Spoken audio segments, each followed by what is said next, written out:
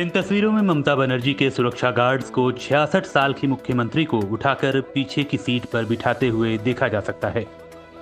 CM Mamata Banerjee ने बताया कि कार में बैठने से पहले तीन चार लोगों ने उन्हें धक्का दिया, जिससे उन्हें चोट आई। ममता ने कहा कि ये लोकल लोग नहीं थे। सीएम ममता ने दावा किया कि ऐसा जानबूझकर किया गया। उन्होंने ये बात दो तीन बार कही। तस्वीरों में देखा जा सकता है कि ममता के पैर में चोट आई है। सफ़ेद रंग का कपड़ा भी उनके टखने के पास बंधा हुआ है। ममता ने बताया कि उनके पैर में फ़िलहाल दर्द और सूजन है। वहीं बीजेपी का कहना है कि ऐसा ममता सहानुभूति बटोरने के लिए कह रही हैं। हाँ।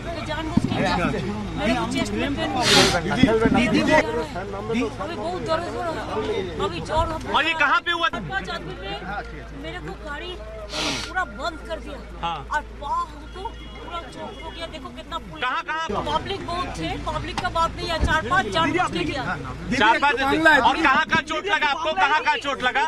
पैर में? पैर में पूरा वो फूल गया पूरा। हाँ। नंदीग्राम से पर्चा दाखिल करने के बाद मुख्यमंत्री ममता बनर्जी ने वहाँ के लोगों को कहा कि वो भी उनमें से ही एक हैं। वो भी नंदीग्राम के संग्राम का हिस्सा थी और उन्होंने यहाँ के किसानों के लिए 26 दिन तक भूख हड़ताल भी की थी।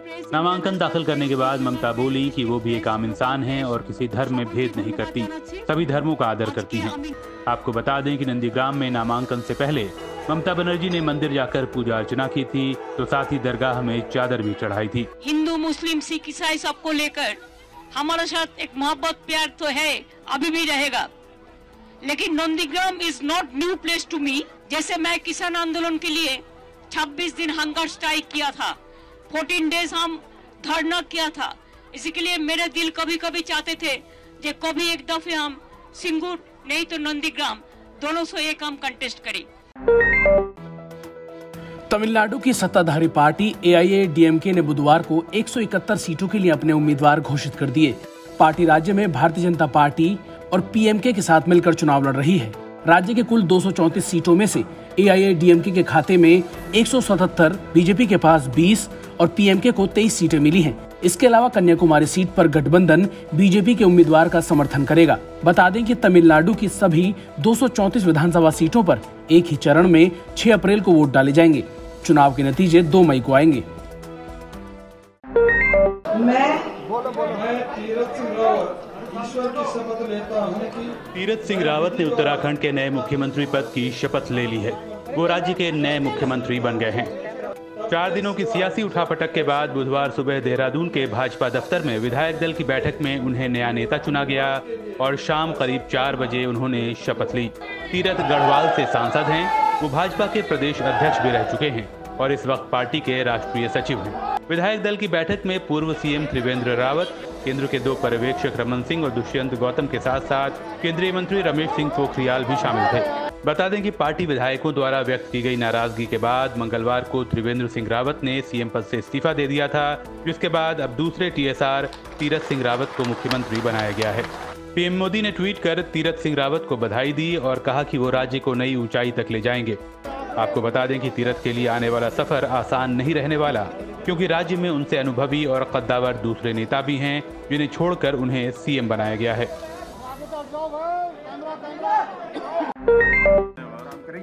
हरियाणा में खट्टर सरकार के खिलाफ लाया गया अविश्वास प्रस्ताव विधानसभा में गिर गया है। बुधवार को सदन में वोटिंग के दौरान अविश्वास प्रस्ताव के पक्ष में 32 तो इसके खिलाफ 55 वोट पड़े। यानी सदन में 55 विधायक मौजूदा सरकार के साथ थे तो विरोध में केवल 32 नब्बे सीटों वाली हरियाणा विधानसभा में बीजेपी के पास 40 विधायक हैं, जबकि उसे दुष्यंत चौटाला की जेजेपी के 10 और 5 निर्दलियों का भी समर्थन मिला हुआ है। सीएम खट्टर के खिलाफ यह विश्वास प्रस्ताव कांग्रेस की तरफ़ से लाया गया था। दरअसल कृषि कानूनों के विरोध के चलते सत्ता में शामिल कई विधायक मौजूदा नेतृत्व से नाराज़ थे और नेता विपक्ष भूपेंद्र सिंह हुड्डा ने इसी नाराज़गी को भुनाते हुए ये दांव चला। लेकिन संख्या बल के आधार पर मनोहर लाल खट्टर ने साबित कर दिया कि फ़िलहाल उनकी सरकार को कोई खतरा नहीं है।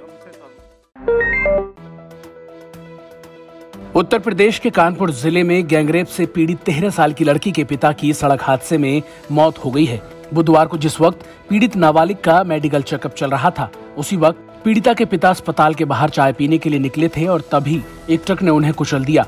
पीड़ित परिवार से हादसा मानने को तैयार नहीं है और उनका शक गैंगरेप के आरोपियों पर है। दरअसल जो आरोपी हैं, उनमें से दो के पिता पुलिस अधिकारी हैं और फ़िलहाल कन्नौज में तैनात हैं। परिवार के मुताबिक गैंगरेप की घटना के बाद से ही आरोपी पीड़ित परिवार पर दबाव बना रहे थे और धमकी दे रहे थे कि उनका बाप दारोगा है। और अगर एफआईआर दर्ज कराई तो दोबारा रेप करेंगे और सबके सामने करेंगे। परिवार ने पुलिस पर भी कोताही बरतने का आरोप लगाया है। इस बीच पुलिस ने गैंगरेप के एक आरोपी को गिरफ़्तार कर लिया है और प्रशासन ने पीड़ित के परिवार को पाँच लाख का मुआवजा देने का ऐलान किया है। अन्य आरोपियों की भी तलाश जारी है। मुकेश अंबानी के घर के बाहर मिले विस्फोटक वाली कार केस में राज्य सरकार ने क्राइम ब्रांच के अफसर सचिन वाजे को ब्रांच से फ़िलहाल हटा दिया है। गृह मंत्री अनिल देशमुख ने बताया कि वाजे को तब तक अपराध खुफिया इकाई से हटा दिया गया है, जब तक कि ऑटोमोबाइल पार्ट्स के बिजनेसमैन मनसुख हिरेन की रहस्यमयी मौत की जाँच पूरी नहीं हो जाती। उन्होंने कहा कि मनसुख की पत्नी द्वारा की गई शिकायत के आधार पर एटीएस टीम हिरेन की मौत की जाँच कर रही है। देशमुख ने ये भी कहा कि अगर विपक्ष के पास इस संबंध में कोई भी जानकारी सीडी, सीडीआर या कुछ भी है तो वो एटीएस को दे। बता दें कि मनसुख हिरेन की पत्नी ने अपने पति की मौत को लेकर पुलिस अधिकारी सचिन वाजे पर गंभीर आरोप लगाए थे।